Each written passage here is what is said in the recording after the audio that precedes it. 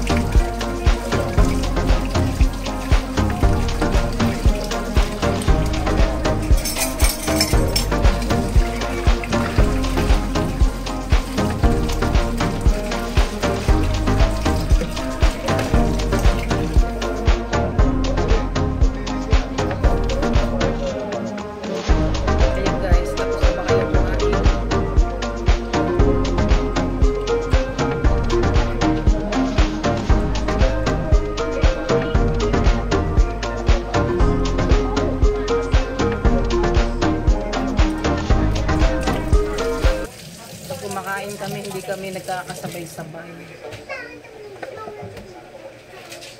Kasi ang uwi pa nung mga anak ko mamaya pa, alas 10 pa ng gabi, alas, mag alas 11 na. Kami lang mag-asawa, kain muna ngayon, tsaka yung aking maliyan.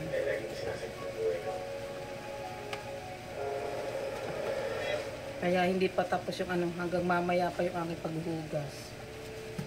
Tapos mamaya, mga alas 9, gigising naman yung pag-asawa, yung aking anak. Saka ulit sila kakain naman. Dahil ang pasok ng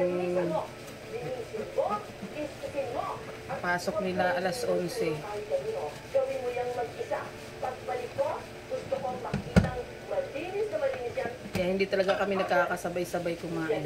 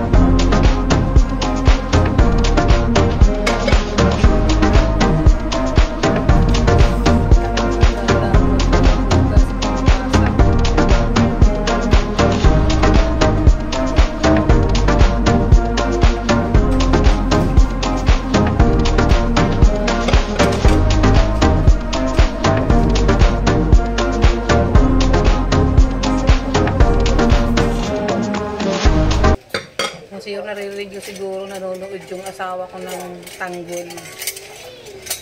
Paborito niya yan. Si tanggol.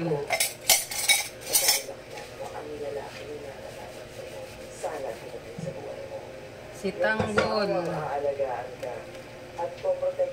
Dating ng gantong oras, ayan, naka-open na yan si tanggol na. Naintindihan mo ba ang sinasabi ko sa'yo?